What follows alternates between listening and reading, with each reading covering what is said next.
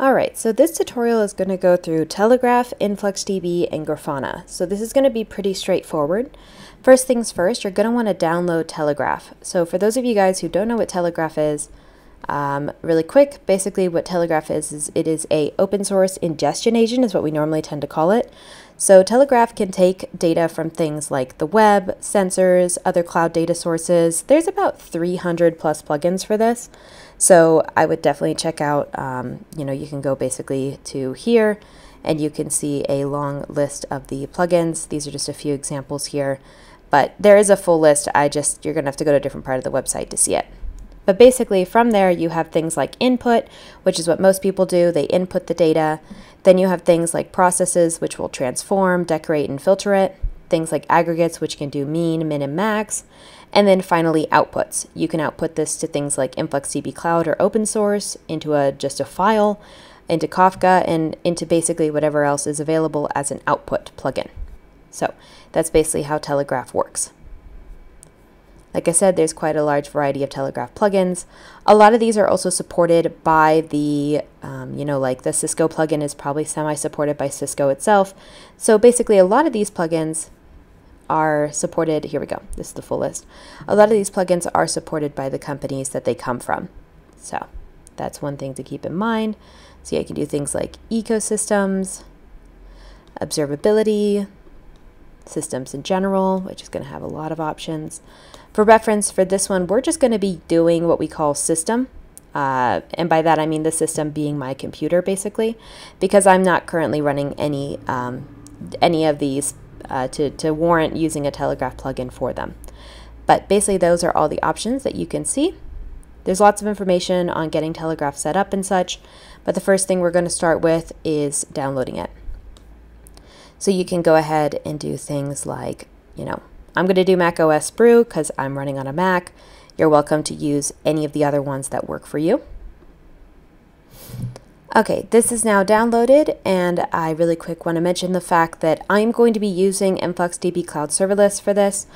Uh, when you go to the Influx Data GitHub, you will see that we have a few different versions. As of the making of this video, we don't yet have an InfluxDB v3 that is in um, uh, basically ready to be used. It's not in beta or anything like that.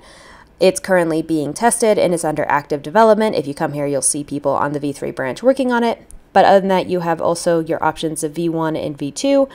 Uh, but for me, at least, I'm just going to use Cloud Serverless because it's free. It doesn't cost any uh, money to use. There's no minimums or you don't have to give a credit card or anything like that.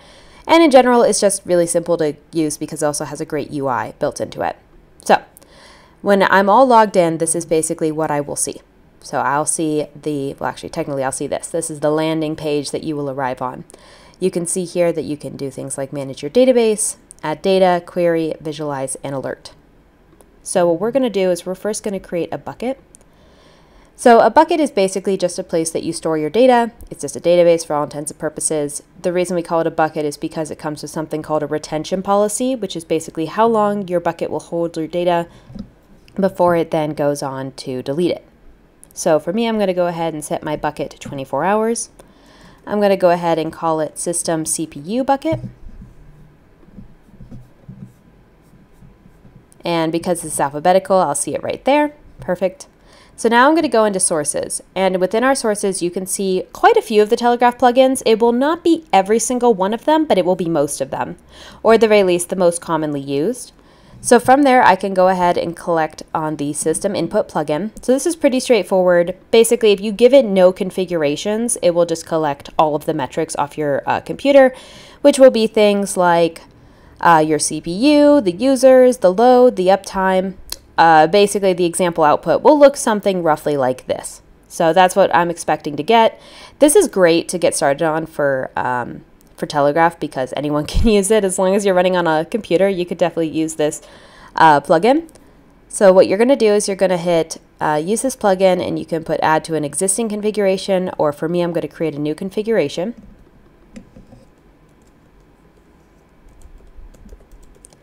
I'm just going to call it CPU system, and I'm going to select my system CPU bucket. From here, you can see my configuration file. I can describe it. Just a quick test. I cannot spell this morning. There we go. Just a quick test. Perfect. I'm going to go ahead and save and test that.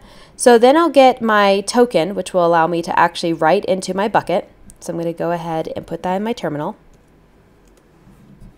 And then I'm going to go ahead and uh, run the following command to start my Telegraf agent.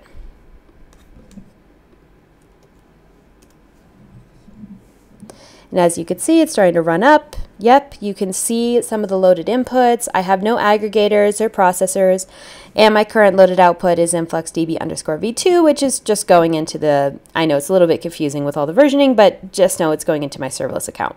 So yeah, then I can go and explore in my Data Explorer my bucket. So I've selected System CPU. I've selected System. It will automatically go to an interval of one hour and I'll go ahead and pull this up. I can go ahead and see all of my values that are coming in off my laptop. And basically that's how you set up Telegraf to run. Also, let's actually really quick take a look at that Telegraf config file now that it's all done. So basically we also, technically this is, this is all pre-populated. It's a configuration for the Telegraf agent. And one of the things it's telling us is that it's data collecting in intervals of 20 seconds this is saying always collect basically on the rounded up value. We have metric batch sizes. We have a buffer limit if it needs it. We basically have all these different configurations for our file. And one of the things that we have also configured is our output here. So the output basically says where the data is going to go to. The influx token is a variable that we've already exported into the command line. We have our URLs, which is the same one that's currently in my account. And then we have the bucket that we're sending it to and the organization. And then these are just more options if you want to use them basically, but for right now, this is a pretty straightforward uh, setup. So yeah, the agent is just the input agent, output agent, and then finally the inputs.system, which would be where we would put configurations if we desire to uh, configure this in any way, shape, or form. And you can also download this config file. So you could go ahead and create it here. And instead of running it like in the command line like I'm doing, you could run it somewhere else basically like in a, you know, in a Dockerized container or just on your own cloud account, whatever it might be, you can go ahead and set that up. You'll see within the Telegraf tab, so you got your sources where you can see the full list, you have your Telegraf tab where you can see your current configurations, and then you have your buckets. And if you went to API tokens, you would also see the API token that it created for me. Now, one thing to note though is that uh, tokens basically disappear after they're created. So uh, if you like lose your token, um, you'll have to go back and recreate one. So like for example, if you went here to the setup instructions, it would tell you the same that you'll have to generate a new API token. And I do just want to really quick show what this might look like in a more intense configuration file with a lot more options. So for example, and just a reference here, I don't know Docker um, super well, but I basically know the gist of how it works with the Telegraf config. And you can see here that you have a lot of different options on whether you want to include or exclude things, your timeouts, just basically the kind of, this is basically you allowing yourself to edit the kind of data that you expect to get in and also add things like tag values and such, which will help, you know, you make more sense of your data a little bit easier. So you can see here also all of the metrics that you're going to receive as both tags and fields. I never explained this for this video, but tags are basically things that you would query on more often. Uh, you can think of that as like your main data set. Like for example, it probably isn't uncommon for you to want to know which engine host is having problems. So I wouldn't be shocked if you might ask a question like, in the past five minutes, give me any engine host that has an overload of 100% or something like that.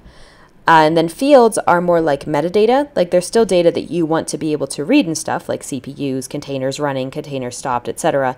But they are the secondary information and not so much the information that you're going to always be querying on. That doesn't mean you can't query on them. You can obviously say something like, in the past five minutes, how many uh, containers are currently stopped, how many are false or true on that. But these do tend to be uh, data sets that you don't query quite as much on. And then you also have things like your Docker data and your Docker metadata measurements. In general, this Docker one, for example, is very advanced. Like there are a lot of options to configure for this because it's been, you know, it's it's very popular. That would that's honestly why it is. And so you can see down here an example output of what this would end up looking like, which yeah, is a lot of information. And if I was running a Docker container, I would be going over that one. But I just wanted to give the gist of how that works. So we've now done two things already. We've got our data into Influx, we've got Telegraf running. Now let's go ahead and hook this up to Grafana. So within Grafana, you're just going to go to the left-hand side and you're going to click on Data Sources, and then you're going to click on Add New Data Source, which for me was down here. Then you're going to go ahead and hopefully name your data source, so it's not just like InfluxDB-1 or whatnot, but I can say something like System CPU, so I know what I'm getting here. Now, this is going to depend on which kind of version you're on, but basically the rule here is that if you're on version 1, you use InfluxQL. Uh, version 2, and technically an older version of version 1, you can use Flux. And for me, I'm going to use SQL because that's the one where uh, I'm already currently on because I'm in Cloud Serverless. Then you're going to go ahead and give it your URL. And it's not going to be your full URL. Uh, you're going to go ahead and take uh, everything off after the slash there. So it's going to look like this. Then you're going to give it the database name, which again is just your bucket and the token that you can use for reading this out. Yeah, so I'm going to create a new token here. It's going to be a custom token where I just go into my system CPU and I can just go ahead and call this um, system test token because I'm going to come back and delete this after I'm done. Oh. I'm going to go ahead and grab this, keeping in mind that your token will disappear after you have uh, used it. All right, great. So now that I've got my token, I had to create a new one. I originally tried to use the one that I already had for Telegraf, but it did not work. Uh, basically, the gist here is pick the query language based off the versioning you're using, put in your URL, whether you're hosting it yourself or running on cloud, go ahead and give it your database name, give it a token that at least allows it to read, doesn't have to allow it to write, and then go ahead and save and test. Awesome. So now that we've done all that, we can go ahead and build a dashboard off of this. So we'll start by adding a quick visualization and it will ask us uh, which, which basically um, input we want to use. I'm going to click InfluxDB System CPU. I'm going to collect my system table and I'm going to ask for, let's see here. I'm going to go into here into code, see if I can fix it. There we go. So by selecting all, I can see my data up there. Yeah, I can see my number of CPUs. I can see my uptime. Perfect. So I must have just selected something where I just didn't quite have data right there. Or I just need to keep going. Sometimes you'll have to switch between the builder and the code. There we go. Both uptime and time. There we go. From our system where the time is basically the past six hours because that's the range it's doing. I can go ahead and knock this down to 15 minutes. There we go. That's going to look a lot more reasonable. And you can see that my computer is uh, going up and up on the uptime, which makes sense. We can also, I can really quick go into here and kind of get an idea of what my data looks like. Okay, so I can see here that I have things like the load ones, the five. Yeah, I can probably go ahead and grab some of those values. So for this, it would normally be something like load one, and then you would also pick your time column. And that would basically run your query. Right now, though, I have to come in here and go ahead and delete those duplicate uh, brackets. And there we go. Now we have a little bit more of an interesting graph. So in Grafana, what you would normally do is you would uh, name something like uh, this panel here, we might call it load one. And then from there, we would go ahead and save this dashboard. Make sure to give it a name. And obviously you can go forward and create as many uh, Grafana panels as you would like. This is, like I said, just a pretty quick, simple um, demo tutorial here on just how to work these all three together. But basically, this is how you go from Telegraf to Influx to Grafana. And this is how you kind of connect them all together. Hopefully this was relatively straightforward. Uh, one thing I do want to mention is if you want to learn more, you can always go to InfluxDB University. This is completely free. It's got on-demand courses. We have a wide range of options here that allow you to learn all about Influx, you know, go forward. We also have specifically things like the Telegraf Basics, and I think we also have a more advanced Telegraf one. If you uh, go over here to topics and you click on data collection, you'll see all of the Telegraf options because for the most part we focus quite heavily on Telegraf. So yeah, including how to build your own Telegraf uh, plugin. So yeah, hopefully you can go ahead and learn from this. And if you have any questions, please feel free to reach out to us on Slack or you can comment here on YouTube. But Slack is probably the best place to get questions answered. And yeah, hope you enjoyed the tutorial.